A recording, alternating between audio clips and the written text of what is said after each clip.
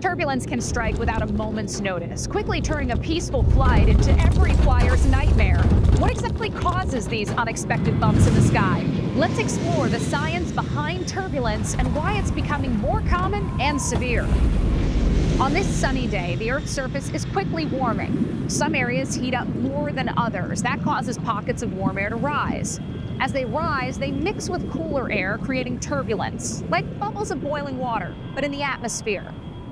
Another type of turbulence that forms near the ground is mechanical turbulence. It occurs when airflow near the ground is disrupted by mountains, even buildings. This mixing of the air can lead to bumpy moments, especially when flying at lower altitudes.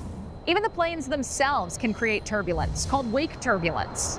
Large aircraft generate powerful air currents as they move through the sky.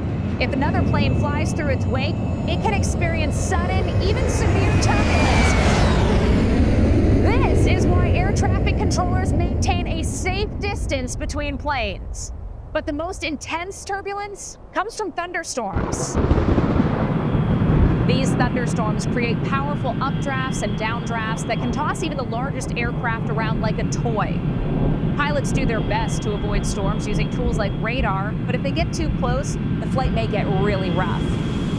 Even as they move beyond the storms into clear skies, smooth sailing is not guaranteed. One of the most challenging forms of turbulence for pilots can't be seen by the naked eye and doesn't show up on traditional radar. Clear air turbulence. It occurs high above 25,000 feet where the jet stream can be found. When the winds in these fast-moving air currents quickly change speed or direction, it creates wind shear, which can cause severe turbulence. And wind shear associated with the jet stream is increasing as a result of our warming planet, creating a troubling recipe for clear air turbulence.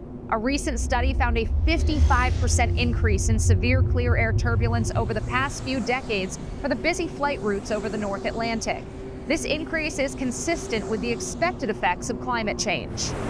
And bumpier skies appear to be getting more common, but understanding the science behind turbulence is helping pilots avoid the bumps. Hopefully, you'll never experience a rare scene like this one. So remember, the number one thing you can do is listen to your captain and flight attendants and stay buckled in your seat whenever possible.